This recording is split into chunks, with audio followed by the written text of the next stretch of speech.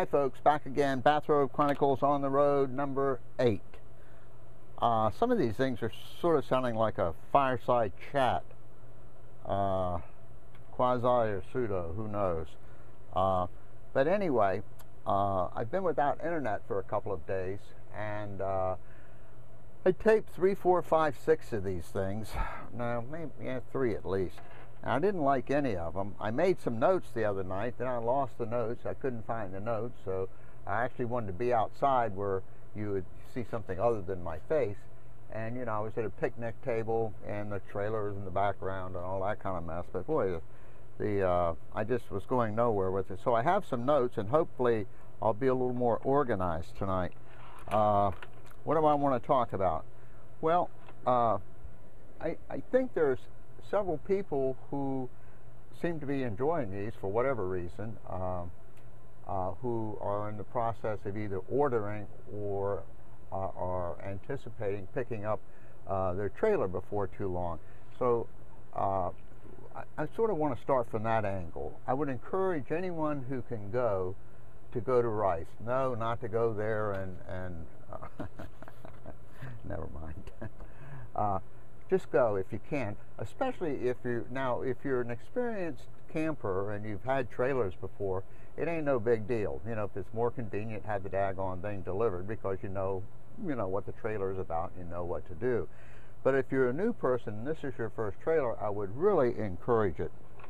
Uh, the uh, two aspects. One, you will have someone right there to answer all of your questions. And two, uh, obviously, I would encourage you to stay at least one night so you can use everything in the trailer and make sure everything works.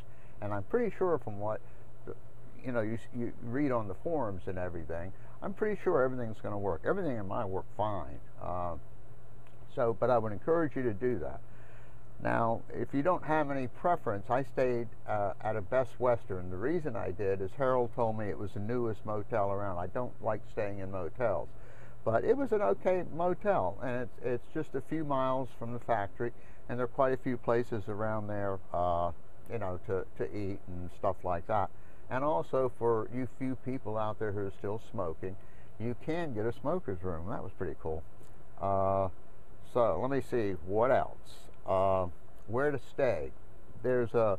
I stayed at the American RV place. It was about 32 bucks, and I got a Good Sam's discount or something. Uh, and the and the folks there were delightful. There were two gentlemen. One, I believe, is the owner, and the other, you know, works there. Whatever, delightful. And they always had hot coffee in the office, and uh, they, you know, they. One fellow, because when I was there, it was 12 degrees, I think, the first night. Said, hey, if something happens, you know, I'm right next door to you. Come on over. You know, you can stay over here. Really nice people. But frankly, it's not what you'd call a picturesque uh, uh, campground. Now, a lady sent me a note uh, who just picked up her trailer a few weeks ago, a couple, three weeks ago, and she stayed at a Corps of Engineers place, which is further down the road from uh, the American. Uh, I'm sure you can find it, you know, a search or something. Plus, it was really reasonable. I think it was 18 or 20 bucks or something. I'm not telling you not to stay at the American. I'm just telling you. Uh, the nice thing about the American is uh, Walmart is like a mile away or a half a mile away. And I'll tell you, I've been living at that place. I have bought so much junk there, I can't even believe it. I went today and bought a daggone vacuum cleaner for crying out loud. Uh, but I bought a lot of stuff there. Anyway, where was I? Uh, where to stay and so on and so forth. Uh, by the way, for, for those of you who don't have that ball holder thing, you know, that tube that slides in the hitch, uh, you can get those at Casita. I don't remember what I paid, but it was little of nothing. And what I felt was, you know, I would be much better served by going there and they, you know, they have the trailer there and they know which one to put on and all of that instead of trying to guess which one to buy. So they do have the, uh, that ball holder gizmo in the ball, so you don't have to worry about that. Uh, of course, what they don't want to do, I'm sure, and I'm not speaking for them, they don't want to go through a whole lot of wiring mess. You know, have your wires and all that stuff set when you get there. Now, as as far as what kinds of options to order, you know, it's all kind of a personal deal, more or less. I was kind of disappointed uh, that the vinyl flooring cost so much. I think it's what 300 bucks or something. Uh, I'm also was disappointed that they didn't offer a wood option uh, because you know that cost little or nothing really. Uh, frankly, my salesman was really kind of a neat guy. I like him, Harold Clemens, and he said, "Hey, you know, don't don't worry with the vinyl." He said, "If you ever get to the point where you can't stand the carpet, you know, have somebody else put something in or what have you." I'd really like to have some wood put in here, which would really look slick. And I'd be willing to bet you that uh, any skilled carpenter could do that for a couple of hundred bucks. But of course, you know, that's up to you. I'd much rather have that smooth surface so when you drop something or break something or spill something, it's easier to get up. Uh, now the microwave, I'll tell you, I lived on a boat for three to four years and I did not have a microwave. Excuse me. I didn't order the microwave for two reasons. One, it's too expensive. You know, you buy a little tiny one for almost nothing. And I really didn't want to give up the storage space. Now, on the end of this video, I'm going to tack on another video which is going to show what I did as far as how I'm, you know, I've got a little shelf in there. Uh, but anyway, you'll see that. It'll be tied on to the end of this. Now that electric tongue thing, you know, out on the front, you push the button and the gizmo goes up and down.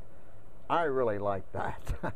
I'm not sure how much that was, but boy, that that is pretty cool. You just sit there and push the thing, you know, and it goes up and down. I would really recommend that. I asked Harold about the fan for the fridge. He said, don't buy it, and I didn't. Uh, and of course, the floor plan I have is obvious here. You know what it is. Uh, I'm not saying which one you should or shouldn't get. Uh, the obvious thing is you get the captain's chairs, you lose all the storage. And believe me, uh, you know, storage is good. You know, you don't have so much of it. Although, uh, it's, it's kind of amazing. Of course, what I'm doing is I'm putting everything in boxes. In other words, everything is going to be in a box. And as soon as I get it juggled around as to which box is going to hold what and all of that, I'm actually going to put one of those little tape things on them or use a Sharpie or something.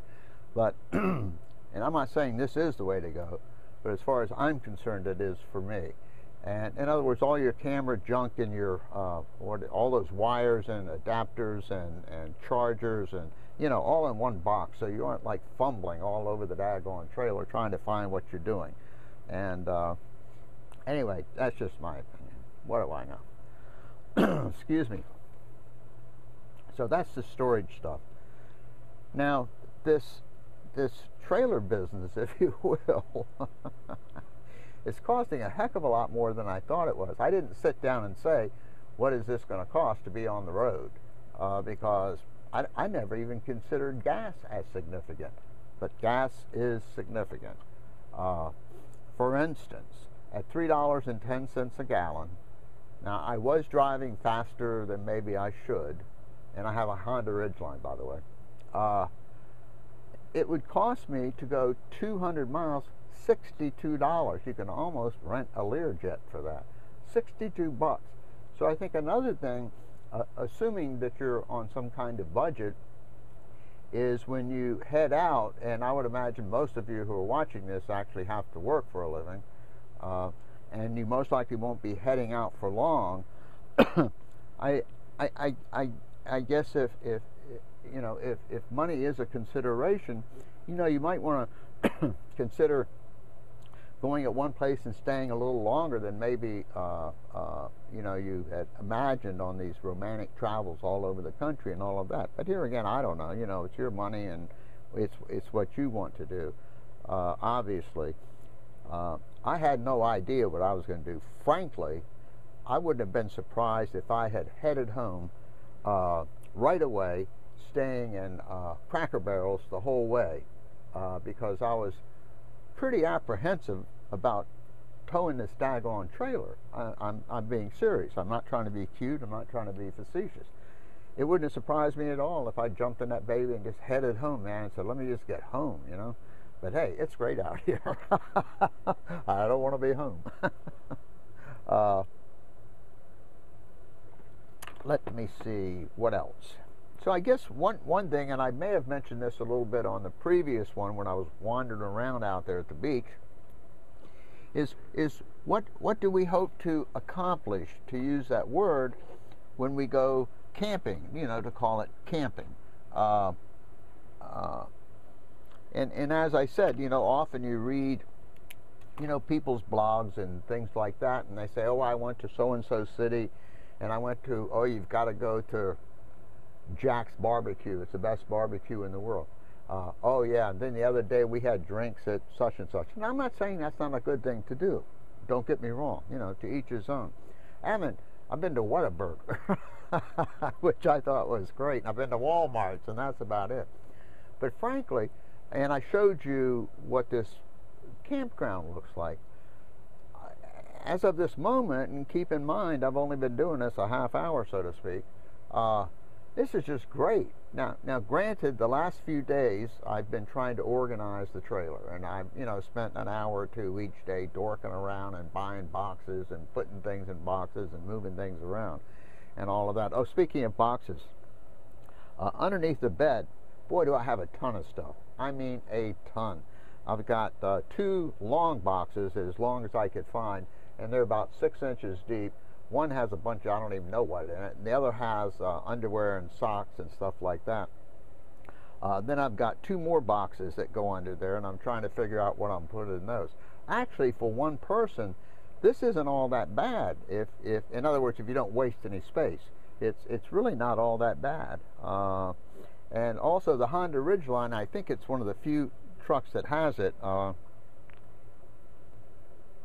has this uh, you, you, go to the bed of the truck and you know open the gate up and there's this huge storage compartment in the floor of the bed i mean huge so what my plans are is like if i'm going to be somewhere for if i if i don't want to go to the town so to speak uh, for a bunch of days you know you can have a whole lot of canned goods and you know soft drinks or beer or whiskey whatever you want you know in that big storage place out there.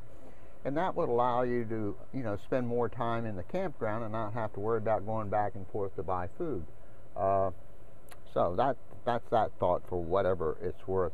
Oh by the way I oh you guys are going to love this. I'm at this campground. I think it's great here and I'm saying well I'm gonna have to move or at least go dump somewhere because when I talked to the people about this place they said there was electricity and uh, what do you call it, water.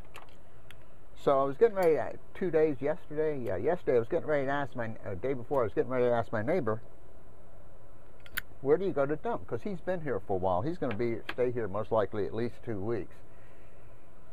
So I was went over to the uh, dumpster to dump some trash, and lo and behold, there's a dump station there. I mean, what a moron! Uh, I, I guess all campgrounds have dump stations. Some of them just don't have them, you know, right where you are. Uh, but I thought that was kind of funny. You guys might get a chuckle out of that. So that I don't run over my time, I'm going to stop and I'll come right back.